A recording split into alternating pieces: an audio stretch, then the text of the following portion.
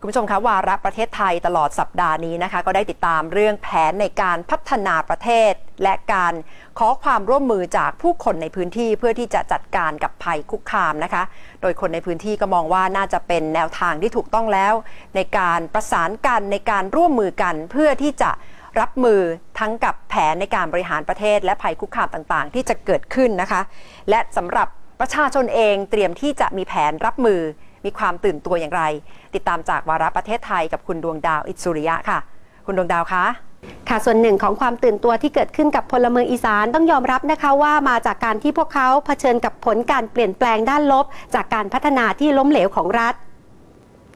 แต่อีกมุมความตื่นตัวที่เกิดขึ้นก็ได้ส่งผลให้มีการสร้างเครือข่ายระหว่างพื้นที่ และระหว่างสภาพปัญหาที่เข้มแข็งขึ้นค่ะ และในวันนี้กระแสการพัฒนาพื้นที่อีสานก็ได้กลายเป็นส่วนหนึ่งนะคะ ที่ผลักดันให้พลเมืองอีสานเกิดความตื่นตัวมากขึ้น ด้วยการนำบทเรียนจากแผนพัฒนาในอดีตมาปรับใช้เพื่อวางอนาคตอย่างการบริหารจัดการทรัพยากรน้ำที่แม้หลายโครงการจะไม่ได้เกิดขึ้นในอีสาน แต่ธรรมชาติของสายน้ำที่ไหลจากที่สูงลงที่ต่ำมีความเชื่อมโยงและส่งผลกระทบถึงกัน ก็ได้ทำให้เกิดการสร้างเครือข่ายจัดการน้ำระดับพื้นที่ขึ้นในหลายพื้นที่ค่ะ หากย้อนไป 10 ปีก่อน ความตื่นตัวของพลเมืองอีสานยังมีไม่มากนักนะคะ เพราะการพัฒนาที่ค่อยเป็นค่อยไป ผลกระทบที่จะทำให้เกิดการเปลี่ยนแปลงกับวิถีชุมชนท้องถิ่นจึงไม่เห็นชัดเจน แต่เมื่อหลายพื้นที่เริ่มเจอกับปัญหา นักวิชาการด้านมนุษยศาสตร์และสังคมศาสตร์สะท้อนว่าความตื่นตัวของพลเมืองอีสาน ก็ได้ก่อร่างสร้างตัวขึ้นอย่างรวดเร็วค่ะ นอกจากความตื่นตัวที่เกิดขึ้นจากผลกระทบแล้ว บทบาทหน้าที่ของสถานศึกษาในท้องถิ่น ก็มีส่วนช่วยอย่างมากนะคะ เพราะนอกจากจะสร้างองค์ความรู้ที่เข้มแข็งให้กับคนในท้องถิ่น กระบวนการที่เกิดจากการศึกษาถึงเหตุผลและผลของปัญหา ยังเป็นส่วนสำคัญที่พลเมืองอีสานใช้เป็นเครื่องมือต่อรองกับภาครัฐค่ะ การเผชิญปัญหาเรื่องพวกนี้เนี่ยนอกจากตัวข้อมูลที่ชาวบ้านใช้ในการที่จะทัดทานกับ ภาครัฐในในการใช้ที่จะต่อรองกับภาครัฐเนี่ยมันเป็นเหมือนกับเป็นเครื่องมือในการพัฒนาอย่างหนึ่งด้วย ที่ทำให้ชาวบ้านเนี่ยเกิดความเข้าใจในวิถีชีวิตของตัวเอง สนใจปัญหาของตัวเองเพิ่มมากขึ้นนะครับรวมถึงเรื่องของการหลังจากที่ได้ข้อมูลเรื่องพวกนี้แล้วชาวบ้านผมว่าชาวบ้านตื่นตัวที่จะสื่อสารเรื่องของตัวเองกับสาธารณะภายนอกนะครับผ่านสื่อช่องทางต่างๆนะครับ รวมทั้งการรณรงค์การเดินรณรงค์อย่างที่เราเจอเจอในในปรากฏการณ์ทางสังคมปัจจุบัน นักวิชาการเชื่อว่าความเข้มแข็งของพลเมืองอีสานจะยั่งยืนต่อไปได้ ต้องอาศัยการปลูกฝังให้ลูกหลานชาวอีสาน รักและหวงแหนทรัพยากร และกลับมาปกป้องชุมชนของตัวเองค่ะ ซึ่งวันนี้นะคะวาระประเทศไทยก็มีตัวอย่างของชุมชนในลุ่มน้ำชีตอนล่าง ที่ตื่นตัวและรวมกลุ่มเครือข่ายต่อสู้กับปัญหาน้ำท่วมซ้ำซากค่ะ บนวิถีชีวิตของอีสานดั้งเดิมมาให้ชมกันค่ะ การรวมตัวของเครือข่ายลุ่มน้ำชีตอนล่าง เริ่มต้นขึ้นหลังได้รับผลกระทบจากการสร้างฝายในลำน้ำชี ตั้งแต่ปี 2543 เมื่อเข้าสู่ช่วงหน้าฝน น้ำในลำน้ำชีตอนบน จะล้นฝายที่ปิดกั้นลำน้ำต้องเร่งระบายน้ำออกทำให้แต่ละปีชุมชนที่อยู่ด้านล่าง ต้องถูกน้ำท่วมนานกว่า 3 เดือน ส่งผลให้วิถีดั้งเดิมที่เคยทำนาปี ต้องเปลี่ยนไปทำนาปลัง พวกรวมน้ำชีเขาก็ดูมาว่ามันเป็นยังไง น้ำถึงท่วม นานถึงสามเดือนสี่เดือน ท่วมขัง ผลเสียหายของพี่น้องรุ่มน้ำชีในการทำนาทำสวน ฝั่งแม่น้ำชีนี่เสียหายไปหมด เขาไม่ได้อะไรเลย สู้มือนี่ หน้าปีโอกาสหน้าปีก็เป็นโอกาสหน้าเสี่ยงจักสิได้เกี่ยวฮื้อบ่ได้เกี่ยว ได้ไก่เห็ดมันเป็นอาชีพของเฮามันเป็นอาชีพของเฮาที่ว่าพ่อแม่เฮาพาเห็ดมา เฮาบ่หนีไปใส่ถึงท่วมเฮาก็อยู่นี่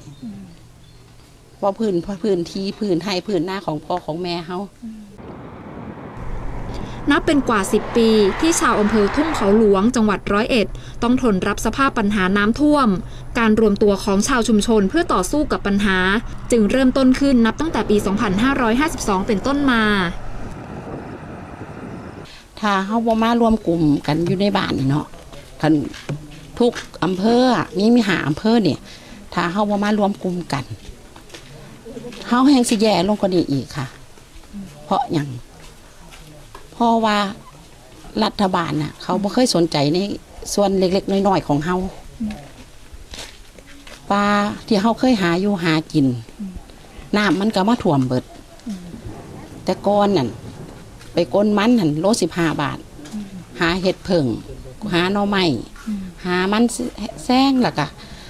แง่ไข่หมดแดงเขาก็สามารถว่าเออเก็บเงินปลูกบ้านได้ส่งลูกเรียนได้แต่แต่ว่า เดี๋ยวนี้น่ะน้ำน้ำมาถ่วมเพราะสิ่งเหล่านี้เขาหายไปเลยเด้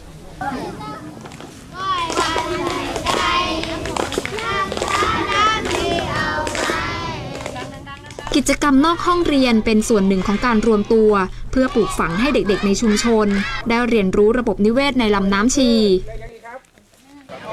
ความเข้มแข็งของคนในชุมชน ยังเกิดจากความสามัคคี ที่ทุกคนได้ร่วมกันฟื้นวิถีชีวิตดั้งเดิม อย่างการทำนารวม ที่ทุกคนต้องร่วมกันลงแรง และการร่วมบุญกุ้งข้าวใหญ่ เพื่อรักษารากฐานของวิถีวัฒนธรรม ไว้ต่อสู้กับปัญหา กลุ่มคนอของของชาวบ้านในลุ่มน้ำชีเองเนี่ย การที่รวมกลุ่มกันเนี่ยหนึ่งนอกเหนือจากที่จะมองถึงเรื่องการต่อรองกับรัฐบาลแล้วสองเรามองว่าการที่เราจะร่วมกันอนุรักษ์ในเรื่องของอวัฒนธรรม ในเรื่องของประเพณี การอนุรักษ์ และฟื้นฟูระบบนิเวศในลุ่มน้ำชีเนี่ยมันเป็นประเด็นใหญ่ ไม่เพียงวิถีวัฒนธรรมที่ยั่งยืนเท่านั้น แต่ชุมชนแห่งนี้ยังเป็นต้นแบบให้หลาย ๆ ชุมชนได้ตื่นตัว และลุกขึ้นมาปกป้องฐานทรัพยากรในชุมชนของตัวเองด้วย สวนีนิ่มปานพยุงวงศ์ไทย PBS รายงานผลที่เกิดจากการพัฒนาพื้นที่ภาคอีสานหากมองในมุมบวกก็จะพบว่าปัญหาที่เกิดขึ้นนั้นทำให้คนในชุมชนอีสานตื่นตัวที่จะสู้กับปัญหานะคะ แต่หากมองในมุมลบ ผลกระทบที่เกิดขึ้นซ้ำซากก็อาจจะเป็นสาเหตุทำลายสิ่งแวดล้อม และวิถีชุมชนของคนอีสานอย่างถาวรได้ค่ะ การพัฒนาที่ยั่งยืนอย่างแท้จริง นักวิชาการด้านการจัดการท้องถิ่นเห็นว่าต้องอาศัยการมีส่วนร่วมที่สอดคล้องกันจากทุกภาคส่วนนะคะ โดยเฉพาะประชาชนตั้งแต่จุดเริ่มต้นของการพัฒนา เพื่อให้เกิดกระบวนการร่วมคิด ร่วมทำนำไปสู่การพัฒนาและจัดการปัญหาที่ยั่งยืนค่ะ ขอบคุณมากค่ะ คุณดวงดาวคะ